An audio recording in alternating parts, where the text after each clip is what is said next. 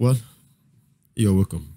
For the umpteenth time, um, we will only do what we are able to do, and then we leave the rest to God. After all, we are not the Holy Spirit. I'd like you to listen to this preacher here.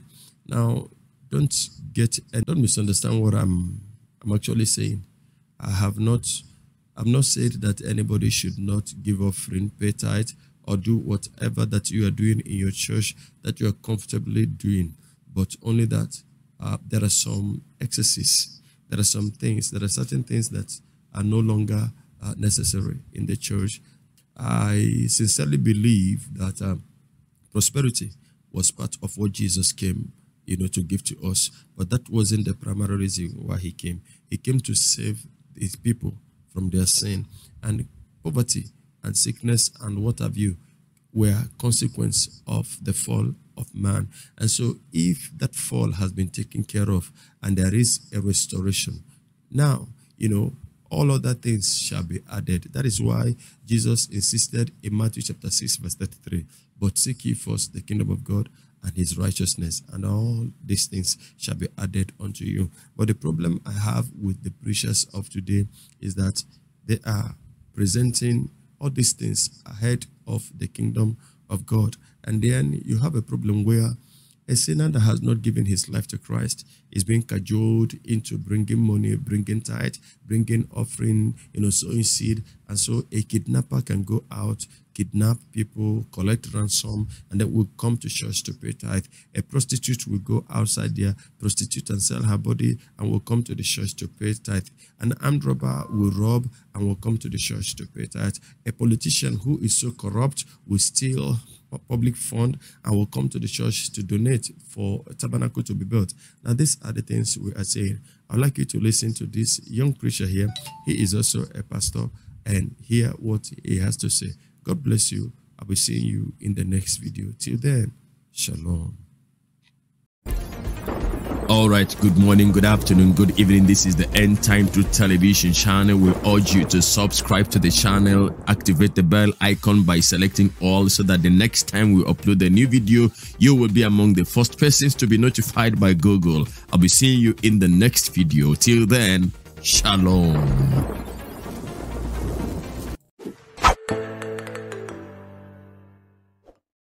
Hi, Pastor Bullis Gago here. I wanted to take a second just to talk to my fellow Nigerian Christians. I just wanted to, in this video, let you know that we pastors have been able to deceive you because you have not been reading your Bible the way you are supposed to read it. You see, by us causing you to believe that everything is spiritual, we will have you fill our churches and pray and depend on us to reveal to you the mysteries of God. While if you read your Bible correctly, you will find out that the only mystery in the Bible was Jesus that was hidden, but when the veil was torn, that mystery, whom is Christ, is now revealed to us. That means if you have the Holy Spirit, should, nothing is a mystery. The Holy Spirit will reveal it to you if you need to know it. But you see, because we want you to feel spiritual about everything, we make it so spiritual that things that you're supposed to be working for, you're actually praying for. While the Bible tells us faith without works is dead. And then we, we like using books in the Bible and we interpret it in a way that the Bible was never talking about to make you do what we want. Let me give you an example. Luke, Luke chapter 6. Give and it will be given to you. Press down, shaking together, rolling over. Go read Luke chapter 6 very carefully. That verse is not talking about money. The Bible never said it there. In Luke chapter 6, that give and it will be given unto you. Pressed down, shaken together, and running over. The Bible was talking about forgiveness. It was talking about not judging. The same forgiveness that you give someone else will be the same forgiveness that is given to you. That had nothing to do with money. Do I believe in giving to the Lord? Absolutely. But I don't tell people to give because that is how they were going to become rich because God was going to open something for them to become rich. So all of a sudden we have Christians in Nigeria believing that if they can pray hard enough and give hard enough, that is where they are going to be blessed. We've taken God as a fool, where God has become our ATM machine, where whatever we can give him little and God will give us more. That's how we are relating with God now. That is why our prayers are not being answered. And we pastors, because we want you to depend on us, we make everything a mystery. Get, receiving from God is a mystery. Success is a mystery. Everything has become a mystery to the point that when we Christians, God is expecting us from heaven to do something in Nigeria politically to change the trajectory of the country so that we as a country don't have to go from miracle to miracle to miracle. We can live in abundance, but we can't live in an abundance if we don't change the situation politically in Nigeria. I do agree that things are happening in the spirit, but when you have prayed in your church, you're supposed to move to Aso Rock to go make the change because you can pray all you want in your churches Nigeria will still remain the same until Christians can get sense and start running politically. And stop making excuses. Go look at the civil rights movement in the United States. It was the church that led it that American, black Americans are enjoying America today because the church rose up and did something about it. But that's not what we're doing. We Christians, we're even saying now we're living by wisdom. We don't want to die because if you come out, go read your Bible. The only reason why Christianity is all over the world today is because people were willing to die for what was true.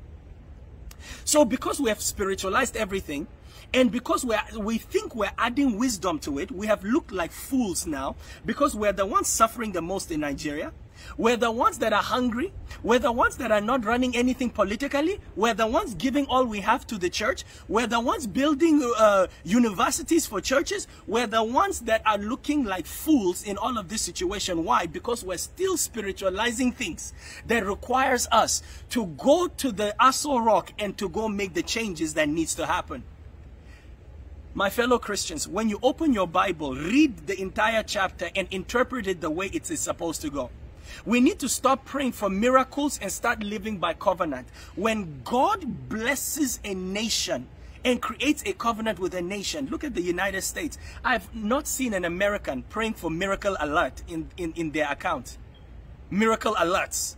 May God make money appear. Have you ever thought about this? If God is making money appear in your, your account, He's creating inflation, destroying the economy. Or He had to steal from someone else and put it in your account. So now God has joined our selfishness in miracle alerts. We need to wake up and realize, Christians, that when you're interpreting the Bible, it does not take away your responsibilities. We have responsibilities. We need to be politically active. We need to be economically active. We need to do what is right in society. If we don't become the example of change, nothing will change. It is either we wake up or we start to, and start to realize that our prayers maybe are not being answered because no one is moving. We're just talking, dividing mysteries to each other on how to make wealth. While the pastors that you're giving to, do you know how they became wealthy? Your offering. Maybe you too, if you are a pastor, maybe you too can become rich. There's no mystery to this. The mystery that baffles me is how we have not been able to rise to do anything. That's the true mystery. If you want change in Nigeria, after you have prayed, I didn't say prayer is not good. You must pray. But after you have prayed, let's get to action or nothing will change in Nigeria.